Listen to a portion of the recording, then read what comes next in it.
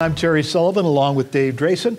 Welcome back. Another edition of Big Time Memories coming at you today with a man I think belongs in the Mount Rushmore of professional wrestling, Terry Funk. Oh, my Lord. Yeah, you're talking about one of the greats, you know, from uh, East Coast, West Coast, Japan. He yeah. made a name for himself all around the world. He has for a number of decades. I think he's a six decade performer in the ring, six decade athlete in the ring, and just one of the most fabulous uh, all round athletes of all time. Oh, you see Terry Funk's name on the bill you know people come in droves and pay money to see him. He's right. still a draw, yeah. and still can you know put it out there and give you you know some great wrestling. Former NWA World Heavyweight Champion back in the days when they were what we call a touring champion. Mm-hmm. They would go to an area of the country, maybe spend a week. They would wrestle every night, and then fly to the next area of the country and do it all over again. Yep. But let's go from the beginning. Let's start. You know, uh, Terry Funk, born June 30th, 1944, but he was born in Illinois, not in Texas. You know, te- you know he's known for being, you know, Tex- you know a Texan, but uh, his father, Dory Funk, and his brother, Dory Funk Jr., moved to Texas. Uh, when he was a young boy, right. Uh, so and they, you know, started, you know, uh, the promotion down there. Uh, Dory Funk Sr. was a big name. Uh, Dory Funk Jr. Uh, broke in, and uh, Terry Funk, he was like one of the f- numerous alumni of West Texas State University. Besides Terry Funk, you had Dory Funk uh, Jr., you had Dusty Rhodes, you had Dick Murdoch, you had Tully Blanchard, you had Tito Santana, you had Bruiser Brody, oh, Stan yeah. Hansen, Ted DiBiase, uh, Bobby Duncum, uh, Manny Fernandez, yeah. and a host of others. It's you know, amazing. Yeah, amazing how many. You know, I mean, you know, Notre Dame doesn't. Who can you name one wrestler who came out of Notre Dame? You know, uh, University of Michigan. You had uh, Scott Steiner, Scott Steiner right. brothers. Yeah, right. but uh, yeah uh, Terry, you know, coming out of there, played football, and he was destined to, you know, go into the family business of yeah. professional wrestling. Just a natural. He and his brother Dory too. The, I never had the pleasure of watching Dory Senior in action, but he was a top star for mm-hmm. uh, at least twenty or thirty years. Died after a wrestling match in Amarillo one night. But Dory and Terry were both two excellent practitioners of the craft of professional wrestling. Yeah, they learned their craft well. And Terry and, was so versatile. I mean, he yep. could do, he could play any part in the ring good guy, bad guy, maniac, whatever you needed. He Terry did over his it. career, yeah. And he would excel, if not over excel. And Terry made his debut in Amarillo, Texas in 1965 against one of the another greats of professional wrestling, Sputnik Monroe of all people. The Sweet Man, the original Sweet Man, Sputnik yeah. Monroe. Yeah. And, you know, I happen to, you know, as a young kid, go to St. Louis often, and I would see a young Terry Funk, you know, wrestling on the Kiel shows. This would have been 1968, 1969, and Dory Funk Jr. would have been on those shows, and I remember seeing uh, Dory Senior, Senior yeah, on sure. those, and all three of. I think I saw one match where all three of them were a tag team against uh, Gene Kiniski, Dr. Bill Miller, and uh, one other person I can't remember offhand, but I did see all three of them in a tag team match there. And they had the Missouri State title, which was usually the precursor to the NWA World Heavyweight mm-hmm. Championship, mm-hmm. and that was, I think, one of Terry's very first titles. And I happened to run into Terry in 1973. I happened to, with the Sheik's blessing, I went out to Los Angeles uh, with Mike LeBell's promotion, and I worked in the front office there for the summer of '73. And I remember one of the uh, matches there that they build up really big uh, Terry Funk versus Victor Rivera. And I remember seeing Terry there. And many years later, it was almost 30 years later, I saw Terry Funk at a uh, uh, Cauliflower Alley Club uh, reunion in Las Vegas. And before I, you know, uh, I knew he was going to be there because he was the MC with J.J. Dillon for the banquet.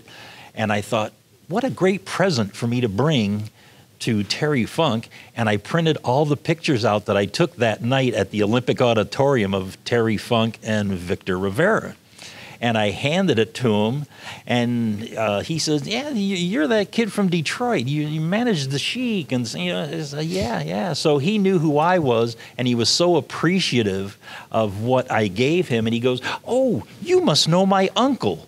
And I go, "Yeah." And the his uncle was Jack Kane, who was a referee down uh, in Texas, and the Sheik brought him up as one of the bookers um, back in the late '60s and early '70s right. for big yeah. time wrestling here. Yeah, one of the big success, uh, one of the most successful eras of big time. Yeah, and but Terry Funk didn't make his debut in big time until 1977, and I was already gone at that time doing my managing career. But you were still around here, so right. you have yeah. you know front information of what Terry Funk's you know debut was here in big time. Well, we went through Dory's reign as world champion in the early 70s. Terry a little bit later than that into the oh, 73, 74, yeah. I think.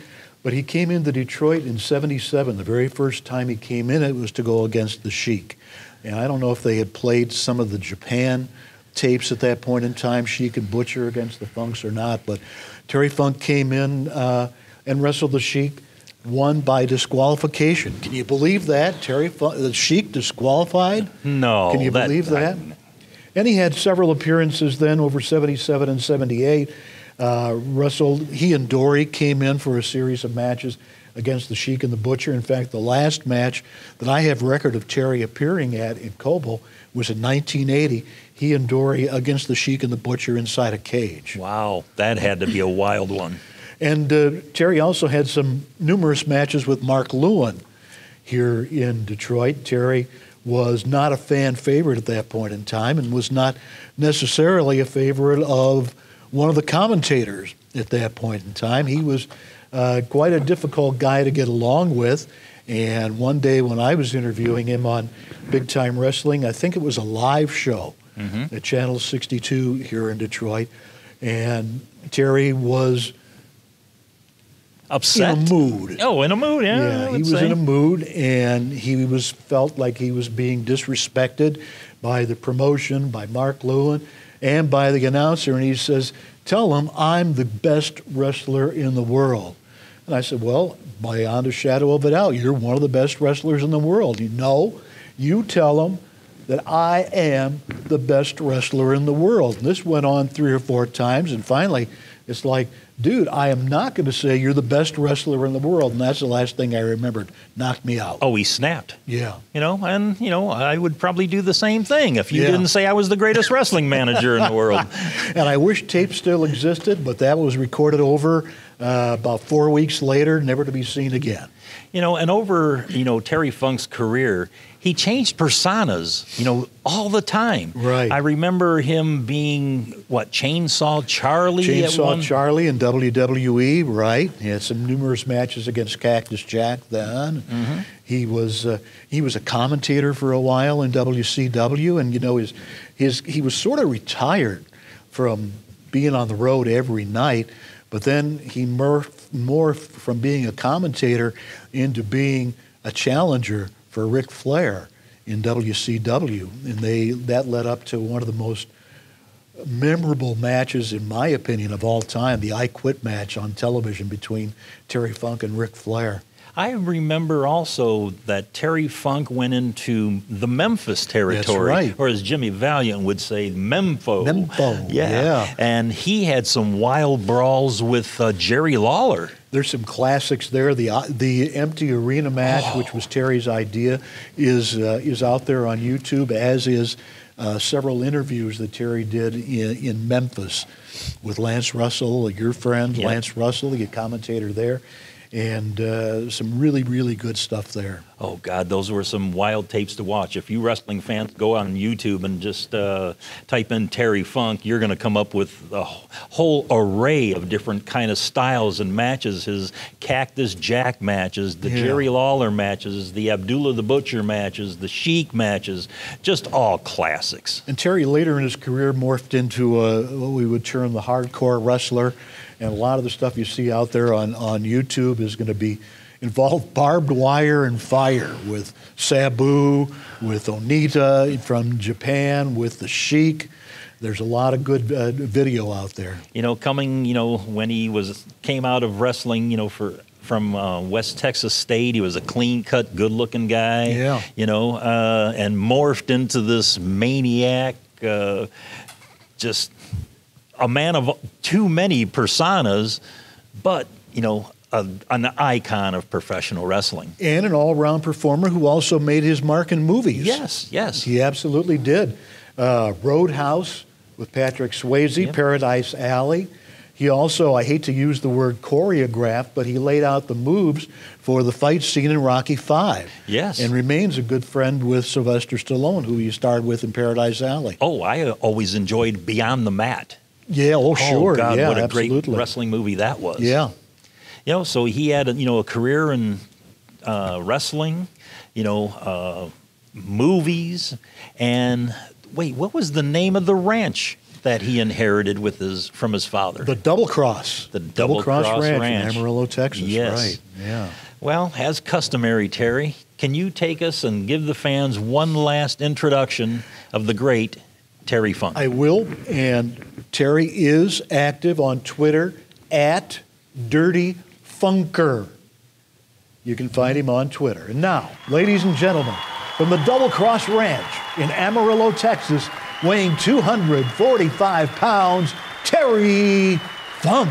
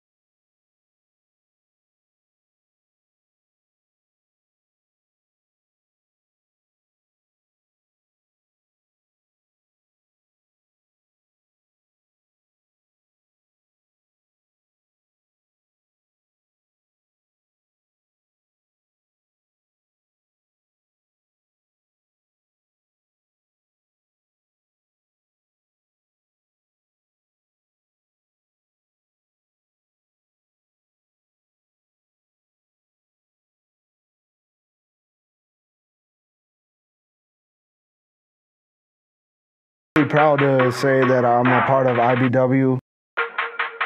I take pride in IBW that we are a family run company. It's a fight. It's a sport. At IBW, tradition has always mattered. You're going to see world class professional big time wrestling at its best. This ain't no sports entertainment. This is professional wrestling. International Big Time Wrestling's The Fix. Each and every week, your fix of IBW action. You want entertainment? Look no further than ROX-TV. International Big Time